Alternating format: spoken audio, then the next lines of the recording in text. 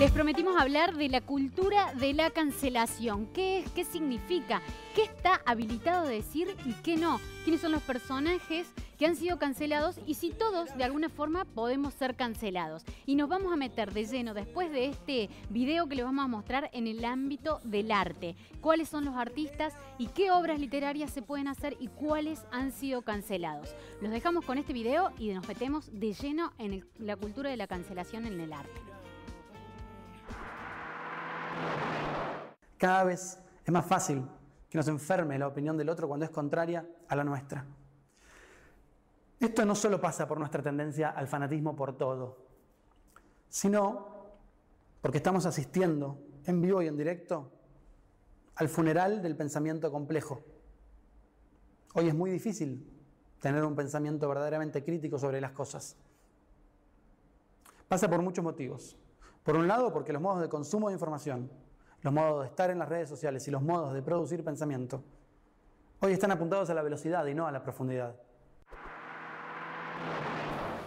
Tenemos un, un fragmento de un TEDx donde estuvimos con, hablando con él nosotros el año pasado aquí en Ciudad Sí, también. con Joaquín Sánchez Mariño que nos contaba Claro. acerca de la cultura de la cancelación y qué pensaba él acerca de ser cancelado. You are cancelled. Y me Eso es gustó se esto del pensamiento complejo. La muerte del pensamiento complejo. Para hablar sobre esto, vamos a invitar y vamos, nos vamos a ir al centro de Francia. Vamos a saludar, allá está Ariana Harvich, o Harvich, espero pronunciarlo bien, porque ella es escritora, tiene materiales muy interesantes, pero además va a reflexionar sobre esto que estamos hablando, la cancelación, porque incluso sus obras han sido objeto ¿no? de, una, de una cancelación, podemos decirlo así, a través de incluso una famosa red social.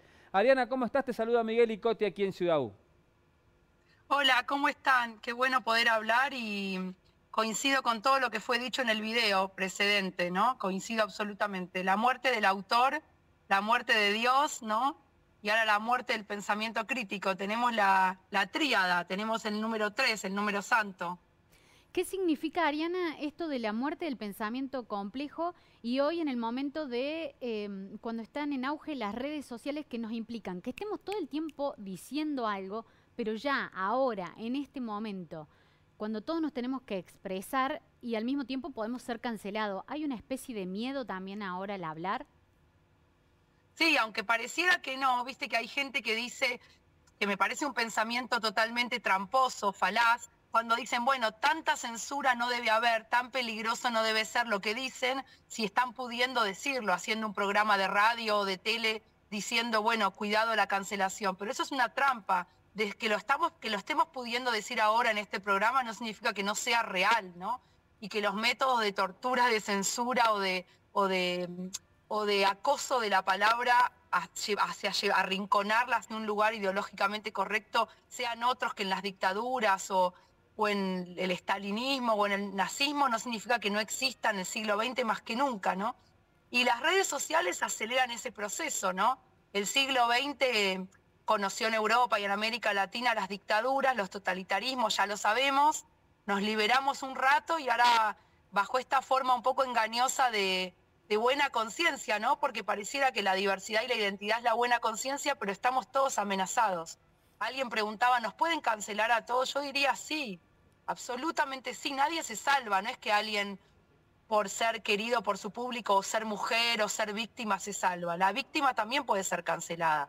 Eso que decís está bueno porque cuando comenzó este proceso de la cancelación, aparecían esos casos del Michu, entonces los artistas que estaban involucrados eran cancelados, cancelados a nivel redes, cancelados a nivel de proyectos televisivos y cinematográficos. Después apareció con el Gustavo Cordera y sus expresiones acerca sobre eh, las mujeres y empezó a decirse, bueno, mira, hay una forma entonces en que estos discursos que son en contra de una persona y que pueden causar un daño, la propia red te lo regula porque te dicen no, stop. Ahora, lo que estamos viendo, Ariana, ahora, es que se convierte esto ya después en una especie de policía del pensamiento, policía de lo que está bien y lo que está mal.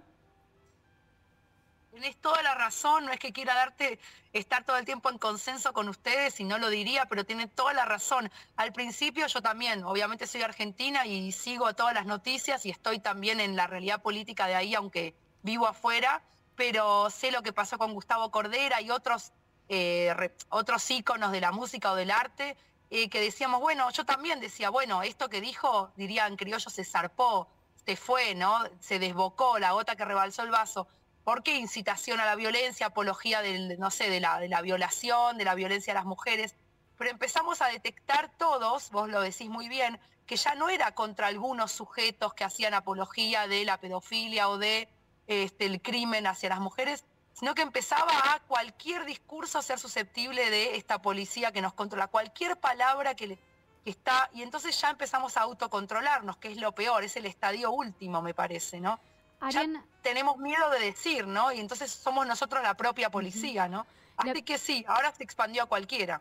Mi pregunta también ahí, eh, justo relacionándonos en el ambiente artístico, es si se cancela solo a la persona o se cancela toda su obra artística. Estábamos viendo este ejemplo del pelado Cordera o, por ejemplo, la película de lo que el viento se llevó. Foucault. Foucault también introdució en esto.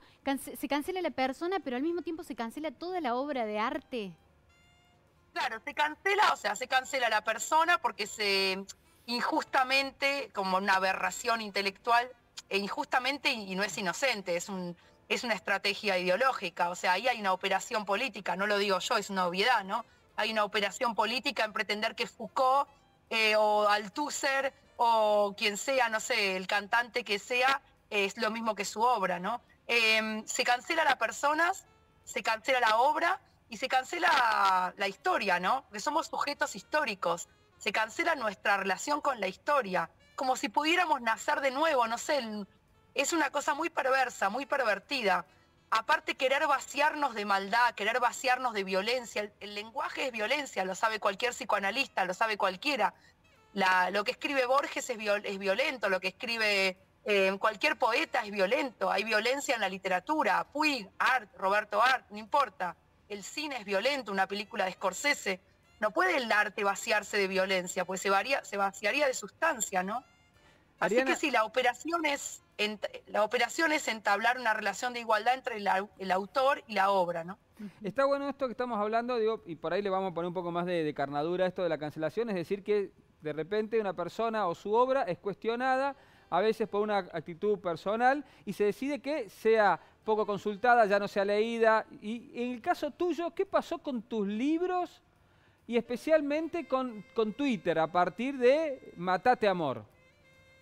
Claro, y ahora voy a lo que me preguntás, ya lo vemos en el mainstream, no es solo casos aislados, marginales, secundarios, el mainstream, Netflix, las plataformas, Amazon, que son lo que consumen las grandes masas, están bajadas de línea, ¿no? Está la bajada editorial ideológica, van sacando películas o las van recortando, las van censurando, las van alivianando en el lenguaje, nos van advirtiendo, cuidado, nos tratan como niños también, ¿no? Hay una infantilización de la sociedad, porque que yo sepa, vos y yo somos adultos, ¿no?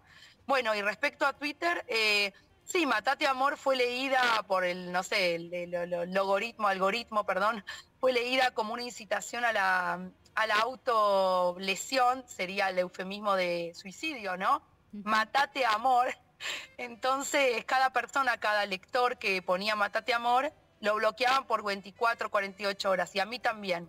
Uno podría decir, ay, es tan grave, te secuestraron, te mataron, no, te sacaron la red 24 horas. Pero es gravísimo, ¿no? Porque nos están retando por cómo escribimos, o sea... es como si fuéramos todos niños que hay que retar, ¿no? Y es una censura, literalmente es una censura en el caso de lo que tiene que ver con una producción literaria. Digo, si te, te dicen que no, que cada cosa que alguien mencione en tu libro está supuestamente haciendo una apología del suicidio o, de la autolesión, digo, ¿quién es, ¿quién es los que pueden tomar esa decisión por nosotros? ¿Qué poder tienen ellos para hacer eso? Y todo el poder, porque vos fíjate que Amazon, en Prime, no sé, yo no veo, pero digo, Netflix, las plataformas de streaming de esto lo otro, y más ahora que nunca en estos dos años de lo que ya sabemos, de, a partir del año pasado, los vemos todos, toda la masa, la masa la sociedad, la, la ven, ¿no?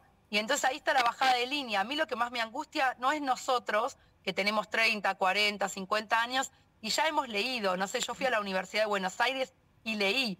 A mí me preocupan las generaciones, de verdad lo digo, ¿eh? que vienen, que van a leer libros eh, recortados, eh, aligerados, edulcorados, películas también de la misma claro películas de la misma manera. Justo eso te iba a preguntar cómo se sobrevive a esta cultura de la cancelación desde el lugar de alguien más joven que tiene miedo a decir o siente tal vez alguna prohibición a decir algo y que se pueda sentir cancelado por un grupo de amigos por una comunidad y hasta masivamente en la creación de su propio arte totalmente eh, terrible, sí, desde los niños que están leyendo ya los clásicos, algunos ya convertidos, reconvertidos, censurados diríamos, ¿no? Con la pátina de la censura, hasta los adolescentes y los jóvenes.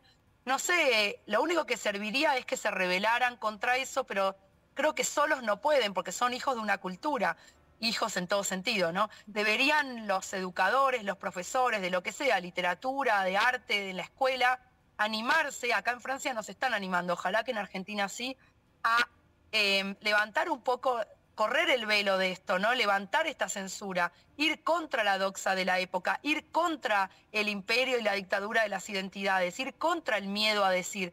Pero bueno, desde Estados Unidos viene el miedo. Hay profesores que han sido echados, castigados, puestos en listas negras.